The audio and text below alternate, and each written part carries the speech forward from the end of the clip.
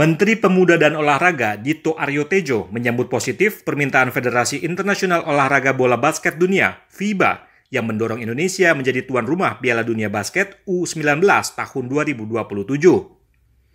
Hal tersebut disampaikan Dito saat menjamu perwakilan FIBA dan pengurus Persatuan Bola Basket seluruh Indonesia Perbasi pada Kamis 2 Mei. Dan ini kita sambut baik dan tadi saya sudah sampaikan kepada FIBA dan Perbasi bahwa pasti Indonesia akan ikut bidding dan nampaknya juga dari FIBA memberikan uh, angin segar yang nampaknya mereka juga ingin untuk World Cup uh, untuk under 19 itu di wilayah Asia. Dito juga mengatakan siap mendukung keperluan yang dibutuhkan FIBA dalam rencana pembukaan kantor di Indonesia.